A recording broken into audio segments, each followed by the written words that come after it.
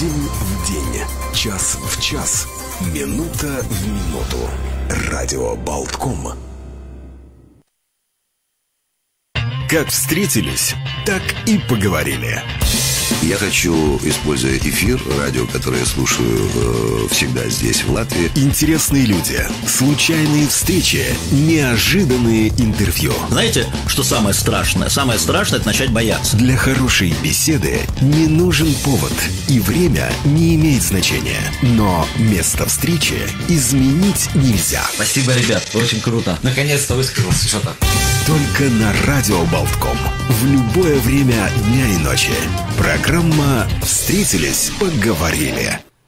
Добрый день всем, кто сейчас нас слушает. И сегодня гость э, нашего эфира на радио Болтком э, один из самых авторитетных и ярких российских церковных деятелей, э, кандидат политических наук, главный редактор журнала «Фома», известный широкой аудитории э, по как ведущий популярной программы Парсуна на телеканале «Спас» э, Владимир Легойда. Здравствуйте, Владимир Романович. Здравствуйте. Здравствуйте. Э, Владимир Легойда является председателем синодального отдела по взаимоотношениям церкви с обществом и СМИ Московского патриархата и исполняет обязанности руководителя пресс-службы патриарха Московского и всея Руси Кирилла, а также профессор МГИМО э, кафедры международной журналистики и кафедры мировой литературы и культуры. Э, так символически совпало, что наша э, сегодняшняя прямая линия приурочена к Дню Крещения Руси, который отмечается завтра, 28 июня, в день памяти... Июля. Ию... Июля, в день памяти князя Владимира. Эфир мы проводим в рамках проекта «Культурная линия» и при участии наших коллег, э, журналистов Международного медиаклуба формат А3. Журналисты прислали свои вопросы, и мы постараемся э, задать максимум вопросов и благодарим нашего гостя за то, что уделил нам внимание. И первый вопрос такой. На какие новые интересные онлайн проекты православных СМИ вот стоит обратить нам, нашим радиослушателям, вообще зарубежной аудитории, в том числе и молодежной? Да, спасибо большое. Сердечно всех приветствую э, и поздравляю с наступающим праздником. Э, что касается э, вопроса, таких проектов много, но, может быть, я назову те, которые мне лично известны и даже с которыми я как-то связан. Есть такой проект телеканала «Спас» 1418. Это, как следует из названия, проект, посвященный событиям каждого дня Великой Отечественной войны. И э, он, э, вот это Спасовский проект, мне кажется, очень интересный. Съемки проходили в разных местах, в том числе и в военно-патриотическом парке «Патриот», где э, стоит новый главный храм вооруженных сил, э, Патриарший собор. Вот. Ну и вообще тема войны, мне кажется, она чрезвычайно важна для всех, и это такой действительно интересный проект. А есть у радио «Вера» и журнала «Фома», это наших два, два наших известных православных СМИ, есть такой совместный проект «Детская христианская аудиоэнциклопедия». Называется «Вопросы веры и Фомы» или «Чай с вареньем». Здесь э, Вера и Фома э, — это имена детей, которые являются героями этой э, энциклопедии. Они задают вопросы на, на самые разные темы и получают на эти вопросы ответы. Если вот кто-то, может быть, знаком из уважаемых слушателей есть такая аудиоэнциклопедия «Чевостик», где главный герой Чевостик, да, вот э, многие дети слушают ее, и вот, собственно, идеи этой аудиоэнциклопедии в свое время были вдохновлены те, кто придумал проект «Вопросы веры и Фомы», ну, поскольку это делалось при участии журнала «Фома» и «Радио Вера», то герои получили такие имена, девочка Вера, мальчик Фома. Вот. Э, и э, это действительно очень увлекательная не только для детей, но и для взрослых, мне кажется, такая вот, такой формат. И еще могу назвать такой образовательный проект, э, тоже связанный с фондом ФОМА, «Минутная история», э, в рамках которой вышли 50 роликов, э, исторические темы. Вот, это мультипликационные ролики продолжительностью одна минута, как говорит молодежь, хорошо заходит, поэтому рекомендую посмотреть. То есть э, все, о чем вы сказали, можно найти просто поиском на Ютубе. Да, безусловно. То есть все выложено. Спасибо. Владимир Романович, мы, во-первых, не представились, простите, пожалуйста, ведут эфир журналист Ольга Авдеевич и журналист Наталья Захарият. Очень-очень рада вас видеть. А вопрос такой. 2021 э, год патриарх Кирилл объявил в России годом Александра Невского. Главные юбилейные мероприятия запланированы на 12 сентября и 6 декабря этого года.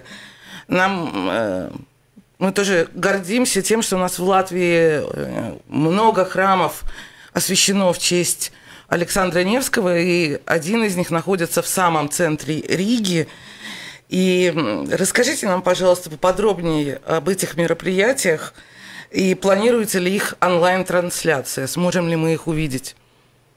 Спасибо большое, я э, тоже очень рад вас видеть. Это Спасибо. Не, не формула вежливости, это действительно так. Вот. Надеюсь, что мы э, с вами, Наталья, увидимся на фестивале «Вера и слово» у нас состоится, если позволит нам эпидемическая ситуация сложная. Ну, надеюсь, что осенью, может быть. Спасибо. Увидим.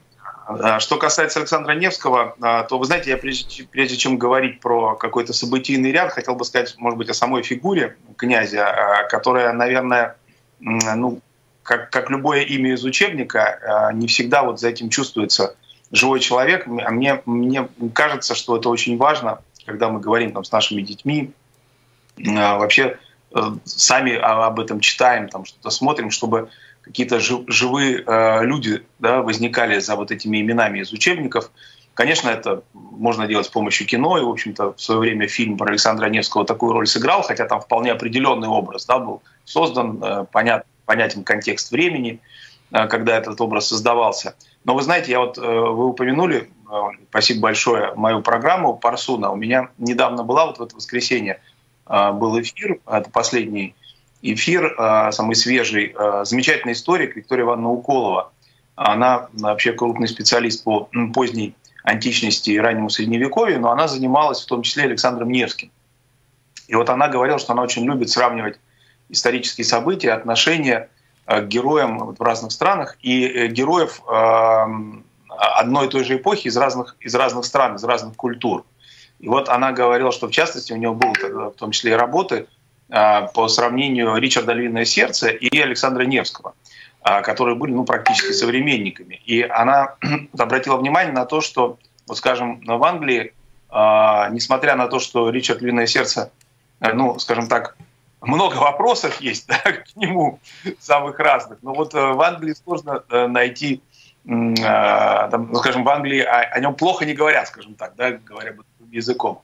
А вот у Александра Невского немножко другая судьба в плане отношений, хотя вот как личность и в плане того, что он сделал, здесь, конечно, ну, так прямо скажем, ничем не уступает. Это действительно был человек, который утвердил, что ли, христианский выбор – Древней Руси, и э, фигура чрезвычайно важная, чрезвычайно значимая. При этом он же был, в общем, довольно молодым человеком, когда уже совершил свои военные э, подвиги, и потом, э, в общем-то, зарекомендовал себя незаурядным дипломатом, да, поэтому он является покровителем дипломатов, и храм при вот институте, который я закончил международных отношений, знаменитом ГИМО, храм тоже построен в честь э, Александра Невского. Это все не случайно. А, вот. А что касается событий, то э, главные события, церковные события, да, потому что были какие-то на, на государственном уровне в России мероприятия. Главные церковные события начнутся 12 сентября в Санкт-Петербурге. Это день перенесения мощей благоверного князя. И вот северная столица станет э, центром таких основных торжеств. Если, опять же, позволит ситуация эпидемическая в тот момент, мы не можем сейчас, конечно, прогнозировать, вот. Но если все будет нормально и позволит ситуация, будет крестный ход, вот, будет, предполагается, там галоконцерт в, э, в зале Октябрьский. Ну и в других регионах тоже будут приурочены к этой дате мероприятия. Хотя слово ужасно, конечно, надеюсь, что они пройдут, что все эти э, события пройдут живо, интересно. Но все, повторяю, вот мы сегодня, видите, все прекрасно понимают, что мы все э, связаны этой ситуацией. Да, вот причем она действительно разная. Скажем, на Украине сегодня будет мы надеемся, так сказать, пройдет, проходит крестный ход, приуроченный как раз-таки к Дню Крещения Руси. А вот в Москве завтра крестного хода не будет, потому что ситуация сложная, тревожная. Мы об этом уже говорили. Вот, но возвращаясь к Александру Невскому, что касается вот того, где можно все это посмотреть, несколько ресурсов создано, посвященных Александру Невскому. Один из них – это сайт который а, создан а, силами а, Московской духовной академии. Вот я, я что-то не догадался, надо, может быть, я не знаю, если я в чат напишу здесь, это будет видно. Александр Невский, но он, собственно, такой довольно простой адрес Александр Невский ру. Вот, мы а. потом обязательно сделаем публикацию э, на сайте mixnews.lv и разместим там обязательно ссылки на все ресурсы, о которых вы нам сегодня рассказываете. Да, ну вот я, собственно, два ресурса хотел сказать. Вот Александр Невский.ру, это сайт Московской Духовной Академии, и сайт, который сделан силами Петербургской митрополии, а Невский 800 ру, э, это сайт как раз-таки, где будет э, все трансляции событий сентябрьских Mm-hmm. Несколько лет назад, когда был э, такой всероссийский проект «Имя России», именно Александр Невский победил и был признан именем России. И а, а что сейчас с планами памятника Александру Невскому в Москве? А, ну, я все-таки, с вашего позволения, уточню, что, ну, можно сказать, наверное, несколько лет, но это было 13 где-то лет или 14 mm-hmm. назад.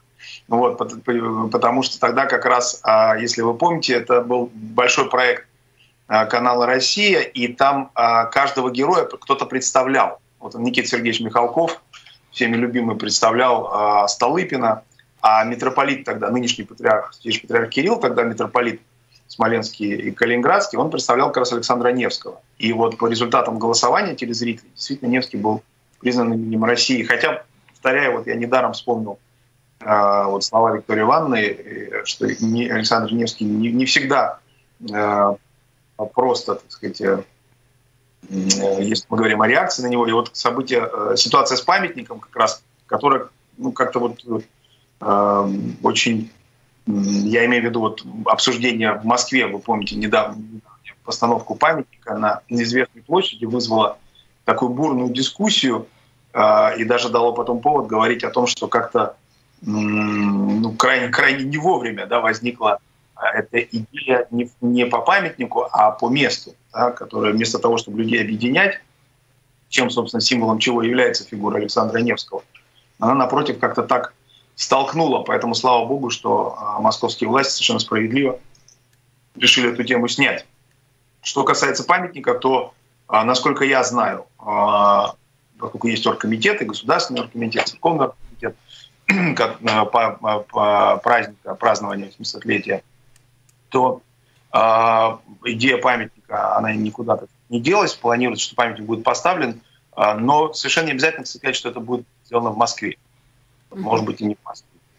Спасибо. И следующий вопрос от журналистов у нас такой, что э, Русскую православную церковь часто обвиняют в слиянии вот с государственной властью, ставят знак равенства. Э, в сегодняшних условиях вот вас, насколько возможно для церкви оставаться в стороне вот от политических э, каких-то конфликтов и в каких случаях она не может вот молчать, занимать такую отстраненную позицию? Ну, смотрите, вот этот вот э, тезис о слиянии церкви с властью, он такой устоявшийся, э, на мой взгляд, безусловно, ложный стереотип, который присутствует там, в медийной среде, в благосфере, как мы сейчас говорим – наверное, у кого-то в сознании, там, у части людей. А, и, и, естественно, этот вопрос часто задается журналистами. Но вот мне кажется, что а, человек, если для него этот вопрос стоит всерьез, да, он должен всерьез посмотреть на ситуацию. Ну, ситуация следующая. Во-первых, русская православная церковь – это не церковь Российской Федерации.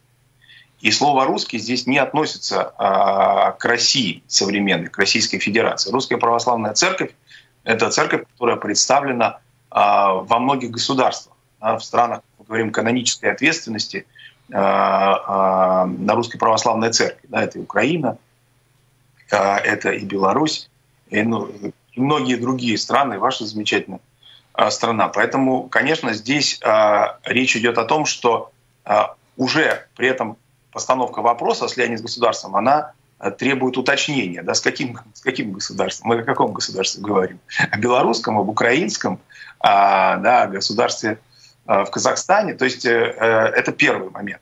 А очень важно понимать, что это не, не, не, не церковь одного государства.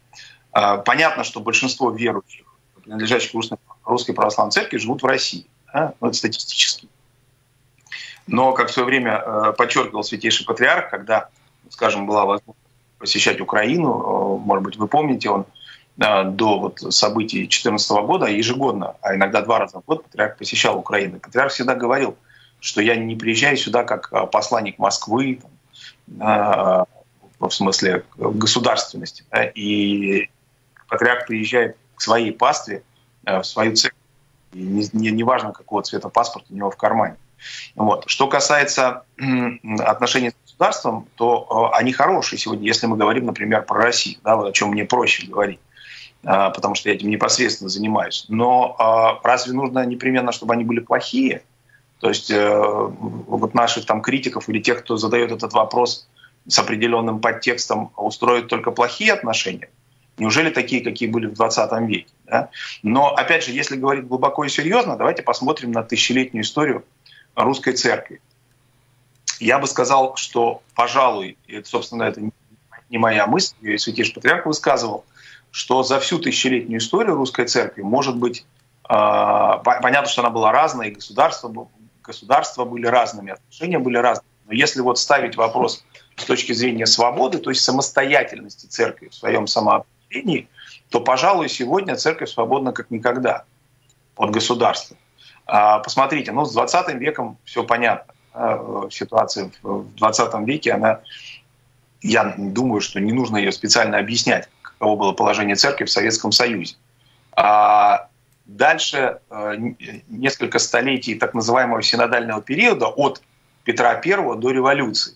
Опять же, хрестоматийно, понятно, это всем, всем, кто изучал историю и церковную, и историю России, что это эпоха, когда церковь, начиная с Петра, ну фактически официальная церковь была превращена в одно из министерств.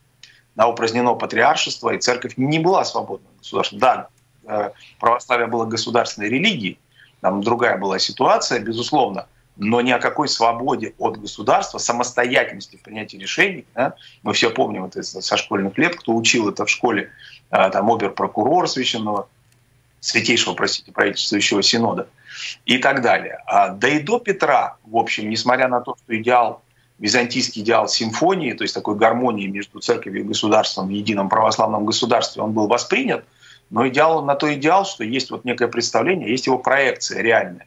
И что при Иване Грозном церковь была а, независимой и свободной. А, поэтому, конечно, вот этот тезис э, вполне Э, я его, э, так сказать, осознанно произношу, а церковь сегодня э, может быть максимально свободна. А, по крайней мере, это тот период, когда, безусловно, в своем самоопределении, в принятии решения того, как, каким путем пойдет церковь, как ей жить, вот, кого ей выбирать епископами, кого ставить там, митрополитами, церковь абсолютно самостоятельная. Я как непосредственный участник этого просто вот торжественно так сказать, заявляет. Это, это действительно так, и, и э, никто нам не дает, так сказать, указаний э, по этому поводу, ни там, по кадрам, по другим вопросам. А то, что государство помогает сегодня не только русской православной церкви, и российское государство, я в данном случае имею в виду, э, потому что, повторяю, ситуация в разных странах разная, на Украине мы видим, она другая, да? Вот, если хотите, можем на эту тему тоже поговорить, если нужно. Вот. Но а, то, что государство помогает церкви, то а что в этом плохого? Я не очень понимаю, так сказать, кого, кого это может беспокоить. Но это не означает никакого слияния, потому что э, церковь не стремится к политической власти. Когда мы говорим, что церковь не занимается э, политикой, мы имеем в виду политику вот в том непосредственном значении, как политикой, политической деятельностью понимается участие в борьбе за политическую власть. Церковь не участвует в борьбе за политическую власть, к этой власти не стремится. А как вам видится разрешение э, вот этой ситуации на Украине, отношения церкви и государства? Ну, видите как, мы многократно э, говорили о нескольких принципиальных моментах. В моменте первый, первый момент, вы, ну, наверное, наши уважаемые слушатели знают, что ситуация, церковная ситуация на Украине непростая, что там э, существовало несколько раскольничьих организаций, которые себя именовали церковь, которые мы не признавали, и что при участии э, патриарха Варфоломея по инициативе политической власти Украины, а именно бывшего президента Порошенко, была создана так называемая Православная Церковь Украины, которая не получила общего признания в православном мире и не признается э, Русской Православной Церковью. Поэтому вот наши два тезиса основных, которые я хотел бы повторить, они не изменились за все эти годы. Первый тезис, что решение проблемы преодоления раскола на Украине возможно только каноническим путем, поскольку на Украине существует каноническая церковь, Украинская православная церковь, а, которая является частью большой русской православной церкви. И, каноническая церковь, а, соответственно, все вопросы решения преодоления раскола, они должны решаться каноническим путем через обращение тех, кто от церкви отпал, а, к истинной церкви, настоящей подлинной церкви. И второй момент, э, политическая власть не должна использовать никакую религиозную организацию в своих целях, что, ну, в общем-то, э, знаете, мне кажется, это, как сейчас принято говорить, кейс, который войдет в учебники. Просто то, что сделал президент Порошенко, очевидно, что для него это была один из главных козырей в том, чтобы сохранить президентскую власть. Вот этот пресловутый Томас, то есть э, документ, э, который удостоверял страны Константинопольского патриарха, даровал независимость, автокефалию, как говорят в церковных кругах, вот этому новому так называемой православной церкви Украины, конечно, для Порошенко был политическим инструментом и способом сохранить политическую власть. Власть политическую он не сохранил, а, церковную ситуацию он не разрешил, все ожидания Э, более 12 тысяч приходов, 12,5 тысяч приходов Украинской Православной Церкви. Э, все говорили, э, я имею в виду инициаторы нового раскола на Украине, говорили о том, что вот сейчас будет создана церковь, каноническая, Константинополь дарует и автокефалию, и из, православной, и из Украинской Православной Церкви все перейдут. Перешло около сотни приходов, если я не ошибаюсь, да, из 12,5 тысяч. Поэтому, конечно, проблема не, не разрешена, и она не могла быть таким путем разрешена. Поэтому вот эти два тезиса только каноническим путем и без вмешательства политической власти. То есть государство может и, наверное, в какой-то степени должно помогать разрешению ситуации, но именно церковные ситуации, а не должна пытаться, э, как принято говорить среди политологов, разыгрывать э, религиозную карту. Ну, в принципе, можно говорить о том, что это внутриукраинские, э, как сказать, дела. Но э, православных людей в разных странах очень волнует, конечно, э, ситуация с Киево-Печерской лаврой. Вот все очень волнуются, что чем, чем там все-таки вот закончится это противостояние. А, но не только Киево-Печерская лавра, а, а там насильственном захвате, который периодически появляется, ну о попытках точнее, да, или о намерениях Э, насильственного захвата периодически появляется информация, к счастью, никогда э, э, этот, эти, эти замыслы не были реализованы, но Украинская православная церковь в целом, она находится под давлением, и хотя оно, может быть, несколько ослабло со сменой политической власти, но инерция, она сохраняется, и, конечно, испытывают давление храмы и насильственные захваты храмов периодически происходят на Украине, храмов канонической церкви раскольниками. Вот. Но мы надеемся, что вот как раз-таки тут власть должна проявлять твердость и последовательность. Поэтому еще раз можно только призвать к этому. Спасибо. Владимир Романович, а какие коррективы внесла в, э, непосредственно в работу вашего отдела синодального по взаимоотношениям церкви с обществом и СМИ вот пандемия, которую мы имеем сегодня – Какие вопросы стали наиболее актуальными? Сместилось ли что-то или э, на, на работе вашего отдела это толком не отразилось? Ну, вы знаете, э, я, тут ничего уникального у нас не произошло. Если мы говорим о рабочем процессе, вот, давайте с этого начнем, с более простых, там, может, инструментальных вещей, то, наверное, как и везде, у нас э, сильно сократилось количество очных встреч и событий, каких-то мероприятий, и очень выросло а, количество а, происходящего в онлайн. И, в общем, я в этом никакой беды не вижу, потому что вы знаете, что такое пресловутые московские пробки. Вот, когда ты едешь куда-то, на, как принято говорить, на внешнюю встречу полтора часа, полчаса проходит встреча, потом ты полтора часа возвращаешься. Знаете, вот стандартная ситуация, когда вот договариваешься о внешней встрече, говорят, ну вот вам когда удобно встретиться? Всегда говоришь, ну, либо рано утром, либо поздно вечером, чтобы день, потому что если встреча назначается на середину дня, значит, у тебя день убит уже, потому что надо сначала добраться, там, провести это совещание там, или еще что-то, переговоры и вернуться. А сейчас, когда, понимаете, вот буквально там сегодня у меня было совещание да, в Зуме. Вот э, до пандемические времена я бы часто туда ехал, вот, там 15 минут у нас было совещание, 15 минут мы совещали, сейчас я бы возвращался назад или больше. А сейчас у меня вся эта ситуация вместо двух с половиной часов заняла 15 минут. Вот, конечно, это в этом смысле это корректировка, это не, нет худа без добра, да, ведь все эти ресурсы были и раньше. Да, это же не, не под пандемию придуманы. Скайпы, зумы, там, другие способы связи. Вот. Но сейчас как-то вот мы поняли, что этим можно пользоваться. Да, и не, не только в разговоре с Латвией, да, это можно, можно и... Э, у меня, например, я могу сказать, что вот у меня а, в нашем отделе, поскольку он большой и, ну, относительно, конечно, не очень большой, но он просто занимается разными а, вопросами и отношениями с государством, с обществом, со средствами массовой информации. У нас два офиса в Москве. И вот раньше, понедельник установочное совещание, все приезжали а, в один офис. А сейчас мы проводим совещание в Zoom, и я уже не буду этого менять никогда. А зачем людей дергать? Вот, это вполне себе удобно, нормально и так далее. Что касается, э, в этом смысле, э, второй момент, конечно, нам приходилось и до сих пор приходится, поскольку, как я уже сказал, в Москве ситуация сложная, часть, работ, э, часть людей работает удаленно. И это непростая ситуация вот, с точки зрения эффективности работы. Во-первых, это зависит от человека очень. Кто-то э, способен э, также эффективно работать из дома, а кто-то не способен. Это, ну, давайте будем, так сказать, называть вещи своими именами. Во-вторых, есть условия работы. У кого-то дома они есть, у кого-то дома они похуже, у кого-то дома их нет. Вот. А вот эти два фактора, конечно, приходится учитывать. А если говорить о содержании, то, конечно, пандемия, поскольку она поменяла весь график, с одной стороны, во второй, она, конечно, усложнила э, жизнь церкви, безусловно, особенно когда вот э, было ограничение э, в ряде регионов для мирян по посещению храмов. Вот. Это, конечно, сказалось вообще на всем устроении жизни и на моральном состоянии людей, вот. ну, на, на всем, в общем. А, вот. Но, а, конечно, эту повестку поменяла, и вопросы пандемии, а сегодня это вопросы вакцинации, они, безусловно, находятся в центре нашей повестки.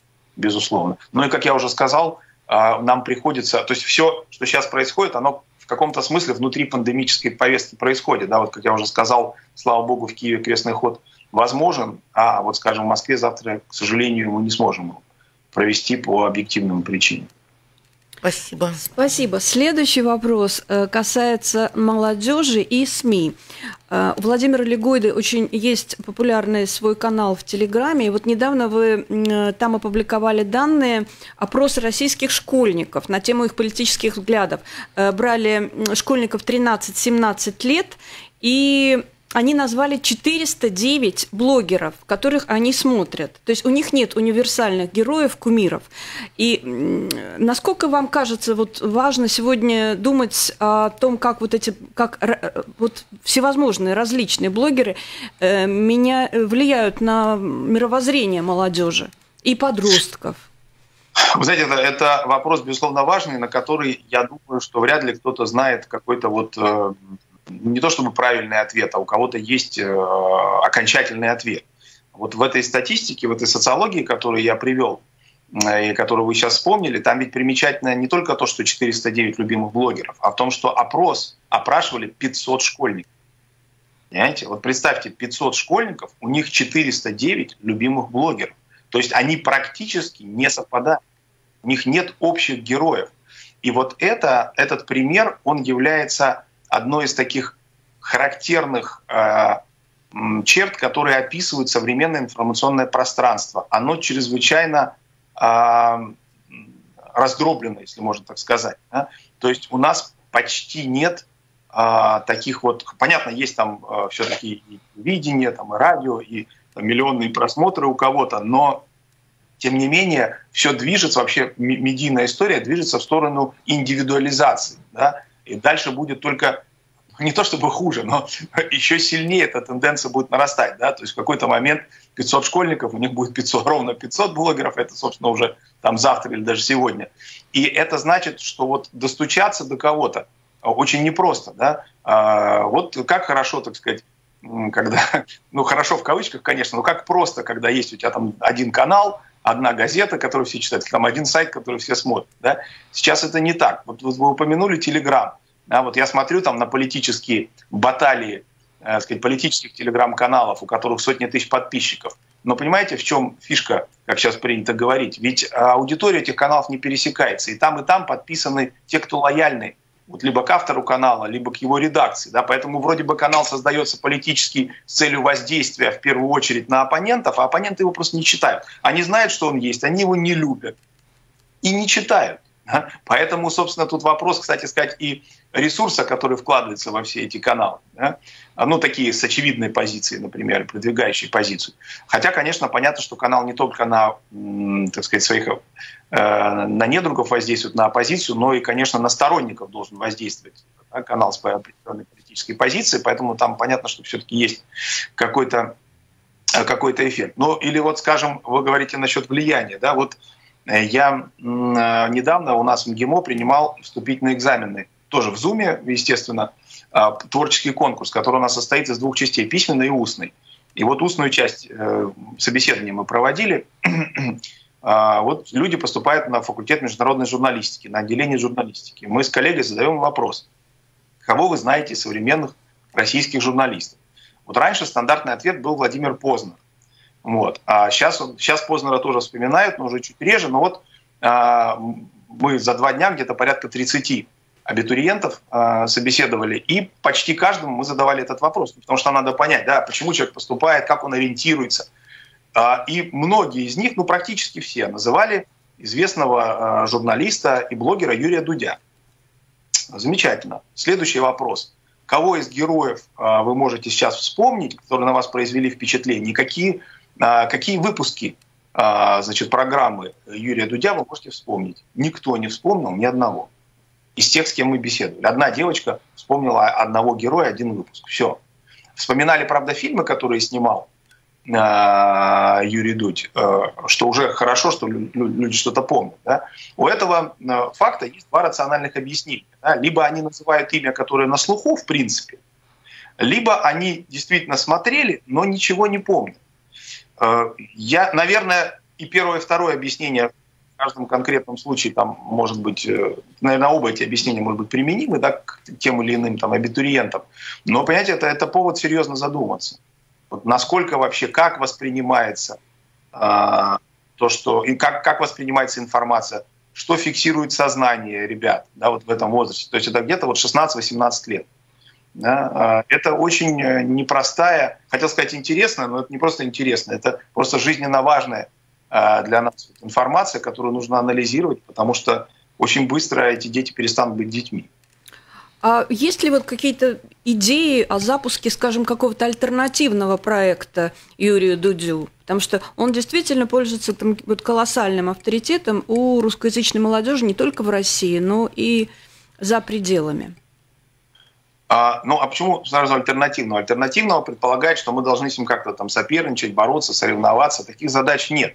Потом, а, смотрите, понятно, что а, а, лю, любая история в современном информационном пространстве с миллионами просмотров, она должна быть либо политической, это, это совершенно точно. Посмотрите, вот тот же Телеграм мы с вами упоминали, там, конечно, нет миллионов, там намного меньше аудитория, и Telegram, конечно, переоценивают с точки зрения там, и аудитории, и воздействия, но, тем не менее, это да, такой вот э, важный канал, тут спорить бессмысленно. Вот. Но а, вот кто-то недавно хорошо сказал, что, в принципе, продается да, во всех смыслах только политический контент. Да. Мы живем в такое чрезвычайно политизированное время. Да. Э, мы вот в свое время пробовали, когда пытались разобраться с тем, что такое Клабхаус, заходили туда, мы быстро поняли, что ерунда, и ушли. Но тем не менее, мы делали несколько бесед о Данте. Вот зачем Данте? Мы с моим другом, архимандритом Симеоном Томачинским, провели две или три беседы «Зачем Данте?». Но я делал, и были хорошие отзывы, приходили какие-то бывшие студенты наши и прочее. Но я прекрасно понимаю, что «Зачем Данте?» не соберет а, столько значит, слушателей, чем там, там, зачем Зелинский, зачем Ходорковский, да, и так далее. Понятно, что это совершенно разная, разная аудитория. Поэтому первая тема – политический контент, у который у Дудя есть, и, соответственно, понятно, что это привлекает внимание. А, а второй момент – это, ну, вот общая, так сказать, как, это, как бы это выразиться, общая стилистика, что ли, да, а, вопросы, которые задаются. Но мы же сами понимаем, что со времен, так сказать, античности в этом плане мало что изменилось. Да?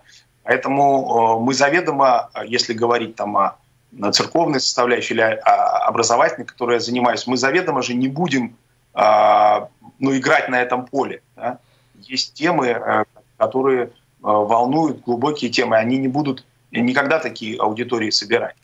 Вот. Но, а так проекты есть, знаете, есть очень успешные проекты. Вот у нас, например, есть, я не назвал, когда мы вначале беседовали, я сказал таких о медийных историях в интернете, но вот у нас есть батюшки, э, которые занимаются, их любят, их называют нередко священниками-блогерами, да, не всем из священников нравится это название. В общем, можно понять, почему.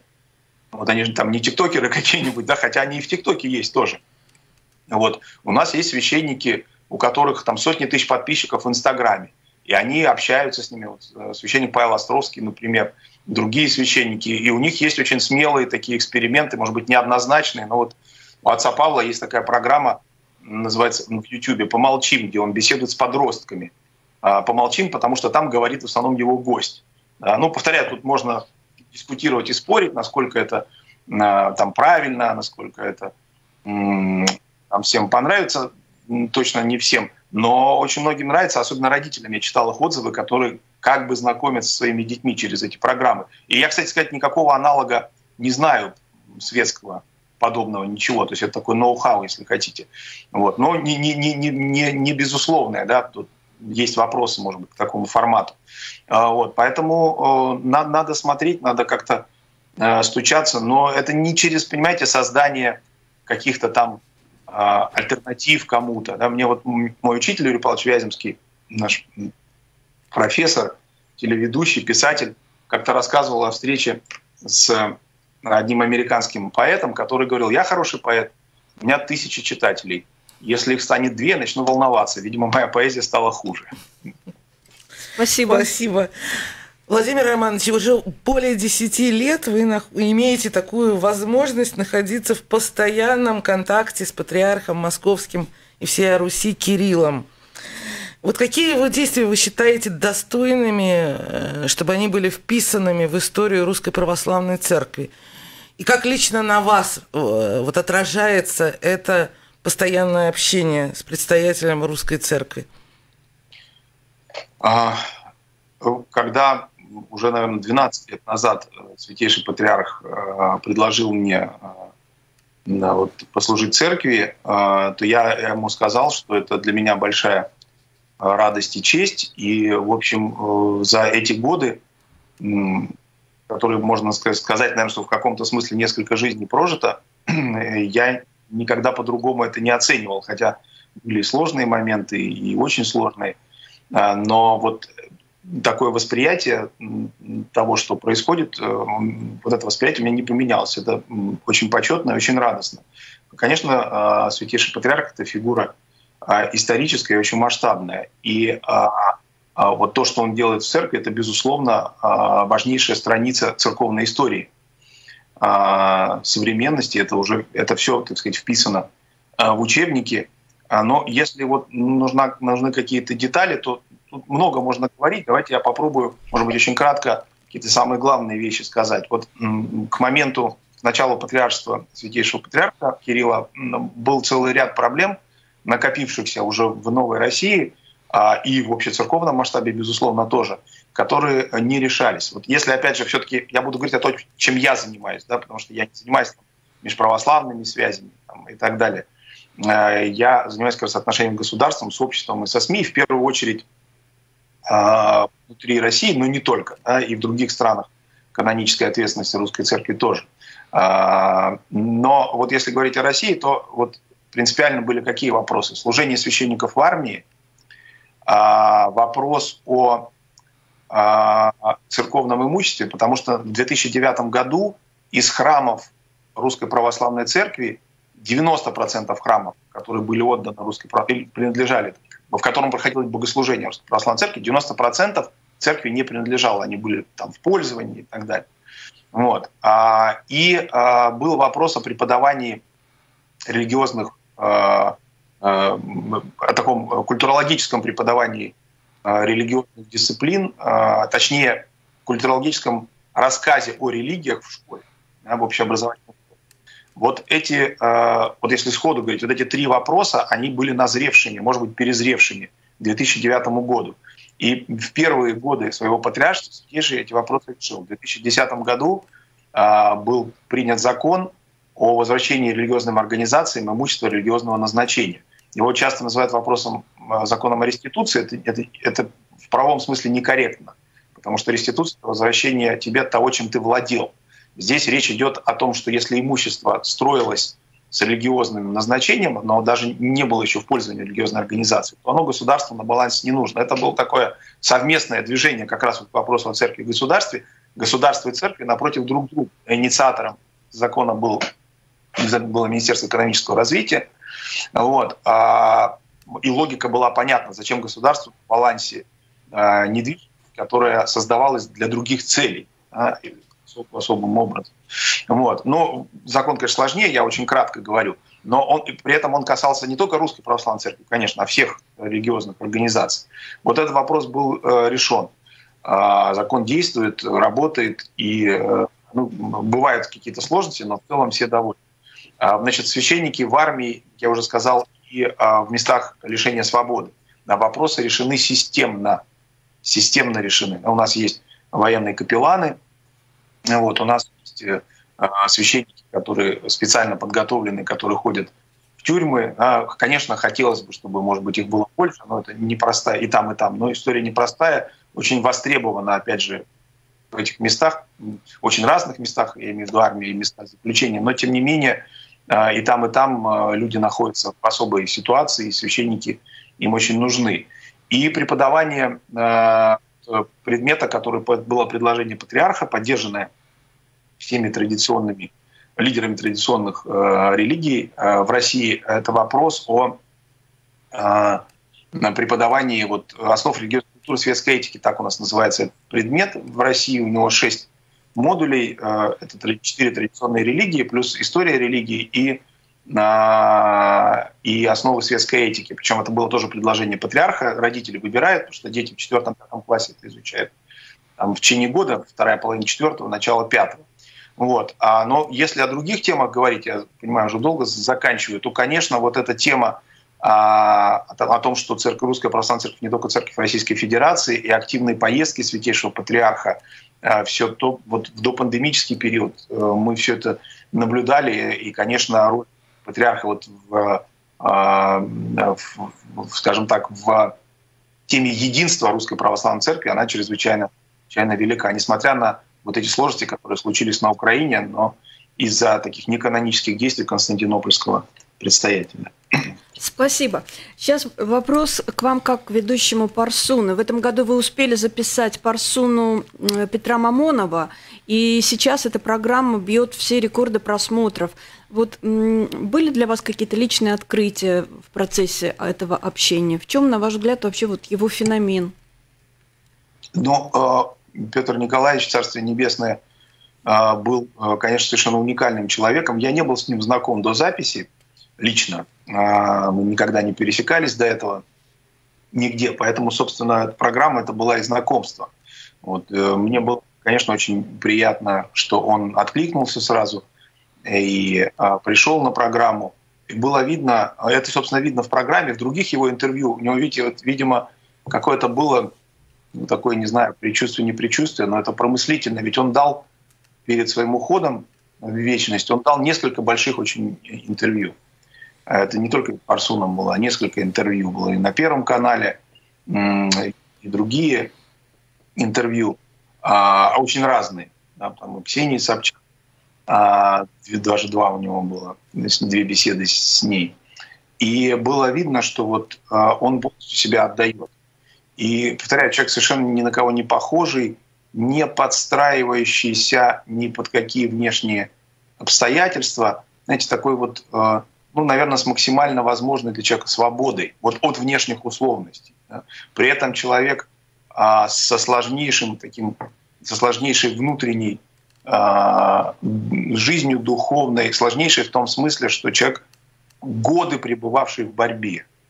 А, и это не потому, что вот он, не знаю, там какой-то ос- особо сложный там или плохой или еще что-то, а потому что он, собственно, этим занимался. Да любой человек, если он, как говорит у Шекспира, снять в русском переводе, там, герой повернуть глаза зрачками в душу, то ты там в любой душе такого увидишь.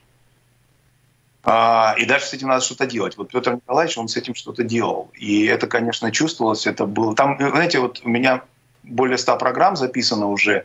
Человека сразу видно. Человека всегда видно. Он может закрываться, открываться, может честно отвечать, нечестно, может казаться, что он честно отвечает. Но э, его э, сразу видно. И вот э, он, конечно, был человеком таким лишенным лукавства. Очень... И, реакции у него были такие непосредственные, искренние. И это действительно не знаю, принято это говорить, что это редкость, но правда же редкость. Мы же сразу вот камеры включились, да, и мы хоп, сразу вошли в роль. Вот я галстук надел, вот я председатель синодального отдела. У него этого не было. Спасибо. Владимир Романович, вы правильно говорите, что нельзя догматизировать сферу искусства, но все же церковь же должна доносить до людей, что постановки того же Гоголь-центра Богом... режиссера Богомолова это безнравственно. Вот скажите, в какой форме это делается и делается ли? И прис... самое главное, прислушиваются ли к этому в обществе? Ну, знаете, я вот э, здесь вот свою личную точку зрения, э, с вашего позволения, выскажу. Я вообще считаю, что, конечно, по большому счету искусство бывает э, хорошим и плохим. Да, и все. И это зависит, э, все остальное, темы, там, о чем, чего, как, это все, это все вторично. Да, когда говорят, что вот там ужасная постановка, там много жестокости и прочее. А у Шекспира нет жестокости, а у Достоевского нет каких-то ну, таких ужасных, ужасной бездны человеческого грехопадения. Да, вопрос, а, для чего это делается, да, и в конечном итоге вот к чему, к чему это ведет. Вот я вспомнил Данте сегодня. Вот Данте говорил, что задача художника человека из ада в рай провести. Да, вот, собственно, его это божественная комедия, которая, конечно, одно из величайших произведений, когда человеком написанное, уникальное совершенно. А, есть великие произведения, подобные которым создавались, а вот Данте, он уникален, конечно, совершенно. Вот. Не только для итальянской а, литературы и культуры, а вообще для, для мировой. Но а, вот а, поэтому по большому счету вот есть такой высший критерий, да, вот какой-то гамбургский счет художественный – а, но таких произведений, э, конечно, мало. А, и если у церкви нет задачи, знаете, выступать таким, как мне представляется, да, нет задачи таким нравственным цензором там, любого художественного произведения. А церковь, вот у меня есть такой, сформировался, да, сформулировал я такой тезис о том, что церковь меняет людей, люди меняют мир. По большому счету, основная точка приложения церковного взаимодействия с человеком, да, это вот общение с человеком, если человек верующий, общение с ним а, с его душой, да, пасторское общение. И тогда уже человек верующий, если он там писатель, он будет э, исходить из своих представлений, да, как, естественно, любой писатель исходит из той системы координат, которая у него есть. Да. И поэтому задача церкви, может быть, даже в первую очередь не созданное произведение оценить, а работать с душой человека. Да, а потом уже, э, собственно, он тогда и не создаст чего-то такого, а, что потом нас будет вгонять там в краску или заставлять уходить из зала во время спектакля и прочее. Но вместе с тем есть какие-то вещи, которые э, людей оскорбляют и задевают по разным причинам. По разным причинам. Вот э, один наш замечательный критик Лев Маратович Карахан сказал, что в искусстве нет запретных тем, потому что искусство настоящее – это всегда чувство меры. Но понимаете, у нас э, у разных людей разные чувства меры. Вот э, был такой замечательный российский режиссер Балабанов, э, прекрасный. Я не могу смотреть фильм «Груз-200». Вот чувство меры Балабанова и мое, оно разное. Да? Я не могу сказать, что меня там как-то это оскорбляет, я не собираюсь этим возмущаться, но я не могу это смотреть, просто как зритель. Да? И, а, а есть люди, которые из-за того, что они не могут смотреть, они будут возмущаться. И вот в этом смысле в зависимости от конкретной ситуации, особенно если это, допустим, фильм или пьеса о каком-то историческом персонаже, да, важном, дорогом для людей, или когда мы касаемся классики, да, как в одном фильме сказано, поставили Пушкина вместе с Дантесом. Понимаете? Вот, вот когда ставят Пушкина вместе с Дантесом, наверное, можно как-то в приемлемой форме сказать о том, что это ну, не самый, может быть, хороший способ. Огромное спасибо. К сожалению, время нашего эфира подошло к концу. Мы не успели задать все вопросы, которые нам прислали. Мы... Приглашайте. Мы вас э, благодарим, с радостью повторим еще нашу встречу. Поздравляем вас с грядущим праздником Дня Крещения Руси и Днем вашего небесного покровителя, равнопостольного князя Владимира. Спасибо большое. Эфир проходил в содружестве с медиаклубом э, «Формат А3» в рамках проекта «Культурная линия» на радио «Болтком». Огромное спасибо, всего доброго и до встречи. Спасибо, всего самого хорошего. До свидания. До свидания. Час в час, минута в минуту.